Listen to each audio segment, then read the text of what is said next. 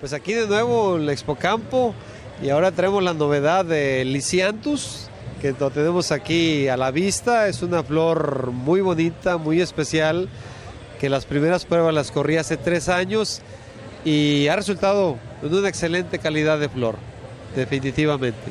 Ahora, y, y platícanos de tu variedad antigua, que es, para mí, tu pila de agua bendita ha sido esta. ¿Cómo se llama? Sí, realmente este proyecto lo inicié con el, con el ave de paraíso.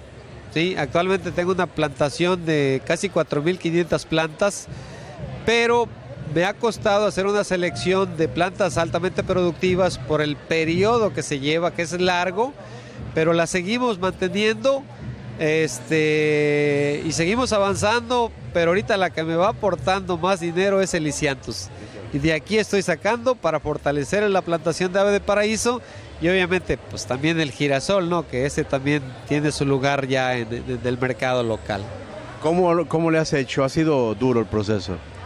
Pues la verdad ha sido bastante difícil, mucho esfuerzo de toda la familia, esfuerzo personal, eh, inclusive por cuestiones de costos, eh, dejé de usar productos químicos en el caso de fertilizantes y pasé a, a probar la, el abonado orgánico con buenos resultados. Déjame decirte que todo esto que aquí se ve, que son flores, son producidas prácticamente orgánicamente. Y es decir, ya entraste a otro mercado ahora, más, eh, mejor valuado.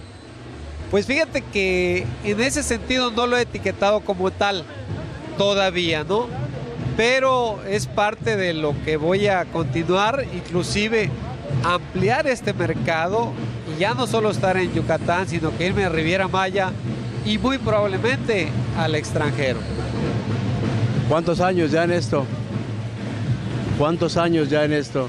Bueno, ya tenemos en esto 12 años prácticamente que empecé. Ha sido lento porque tengo un inter del año que, que- que como esto es a campo abierto, entonces tengo muy limitada la producción, sobre todo girasol y en este caso lisianthus, porque no tengo invernaderos. Yo todo esto lo hago a campo abierto. Pues muchas gracias Armando. Gracias a ti, José Luis, y seguimos dándole. Cuando gusten, nos, nos visitan, nos pueden visitar en Chocholá.